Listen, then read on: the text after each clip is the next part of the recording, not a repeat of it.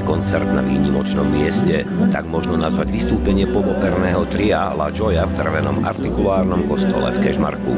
Sme sa veľmi tešili, chystali sme sa, ten repertoár sme naozaj vyberali veľmi tak dômyselne, snažili sme sa nájsť také piesne, ktoré by sa aj hodili, aby boli oživením celého tohto dnešného večera. Ti amo così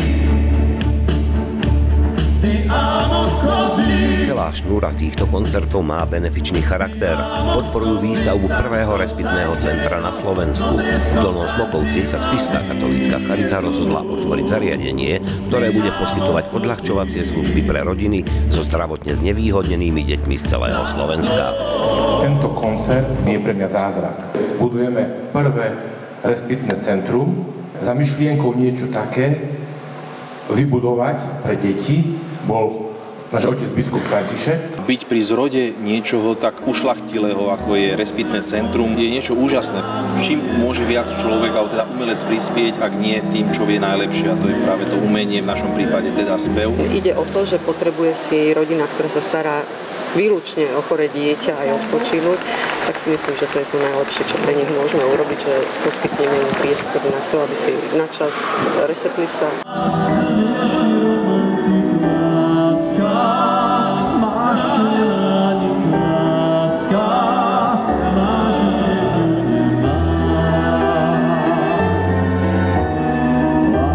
Výťažok z koncertov ide na transparentný účet respektného centra.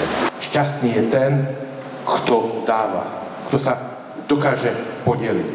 Ďakujem každému jednému z vás, ktorý chce byť šťastný, ktorý proste tieto rodiny, tieto deti podporuje. Siamo sempre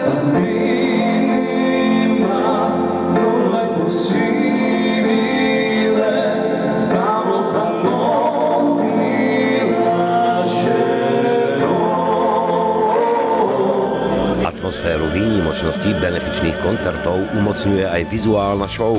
Po prvýkrát vystúpenia slovenských umelcov sprevádza holografická projekcia. Spišská katolická charita nás oslovila s tým, by sme nedokázali dať trošku šmarc tomuto unikátnemu projektu.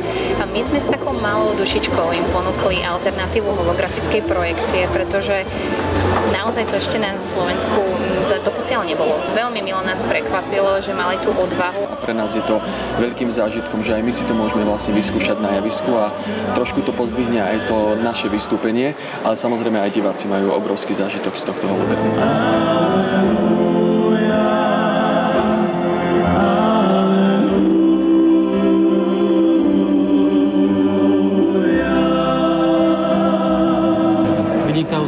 Dojmy, skvelá zábava, vyťažok ide na dobrú vec, takže sa z toho veľmi teším. Bola to atmosféra naozaj, tu cítiť pokoj, radosť.